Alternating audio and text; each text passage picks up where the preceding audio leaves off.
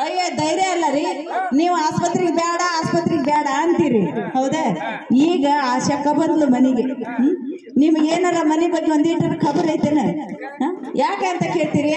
ನಿಮ್ ಜನ್ಮಕ್ಕಷ್ಟು ಬೆಂಕಿ ಹಾಕ. ಬರಿ ಮತ್ಕ ನಾ ಕೈಯಾಗಿ ಏನ್ ಹಿಡ್ಕಂಡನಿ ಇದ್ ಏನಂತ ಕೇಳೋ ಪ್ರಜ್ಞೆ ಆದ್ರ ಐತೆ ನಿಮ್ಗ? ಓ ಅಂದ್ಬಿಟ್ರಿ. ಅದು ನಾನಾಗಿ ಹೇಳಿದ್ದ. ಏನಿದೆ ಅಂತ? ಇದೇನಿದೆ? ಈಗ ಮನೆಗೆ ಆಶಕ್ಕ ಬಂದಿದ್ಲು. ನಾ ಮೂರ್ ತಿಂಗಳು ಗರ್ಭಿಣಿ ಅಂತ ಆ ಸರಿ ಬಂದಾಗ ಅವ್ರ ಮುಂದೆ ಹೇಳಿ ಕಳ್ಸಿದ್ದೆ.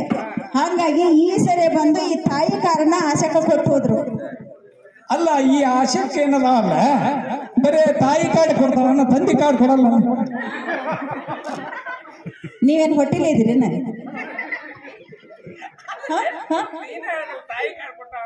ಅಲ್ಲ ರೀ, ತಂದೆ ಕಾರ್ಡ್ ಮುಂದೆ ಬರ್ಬೋದು, ಬರಾಕಿಲ್ಲ, ಗೊತ್ತಿಲ್ಲ. ಆಶಾಕರ್ನ ಕೇಳನು, ಇಲ್ಲಿರು ಡಾಕ್ಟರ್ನ ಕೇಳನು. ಈ ತಾಯಿ ಕಾರ್ಡ್ ಎಡಕ್ ಕೊಟ್ರ ಗೊತ್ತ?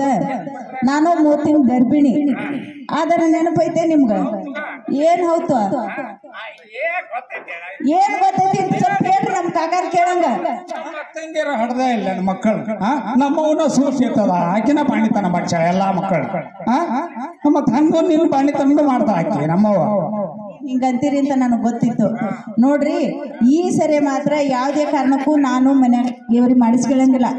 ನಿಮ್ಮ ಮಾತು, ನಿಮ್ಮ ಅವ್ವನ ಮಾತು ಕೇಳಿ ಕೇಳಿ ಆಸ್ಪತ್ರೆಗೆ ಹೋಗ್ದಂಗ, ಡಾಕ್ಟರ್ ತೋರಿಸ್ದಂಗ, ಮೊದಲನೇ ಮಗನ ಮಣ್ಣಾಗಿಟ್ಟು ಕುತ್ಕೊಂಡೇನಿ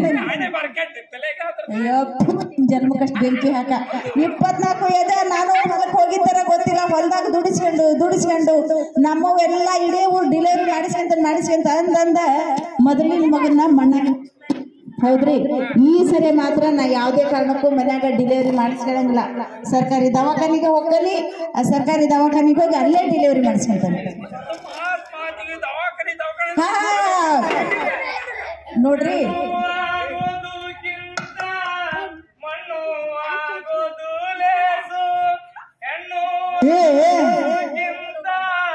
ಮಣ್ಣು ಆಗೋದು ಲೇಸು.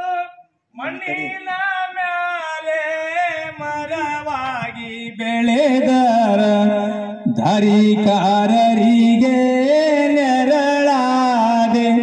ನಾ ನೆರಳಾದೆ. ನಾ ನೆರಳಾದೆ. ಶಂಕರಣ ಶಂಕರಣ ಏನಿದೆ ಎಲ್ಲ ಗದ್ದಲ ಮಾಡ್ಕೊಂತ ಕೂತಿರಲ್ಲ ಆರಾಮದವಿ ಏನಿದೆ? ಏನ್ ತಮ್ಮ ಇದು ಗದ್ಲ?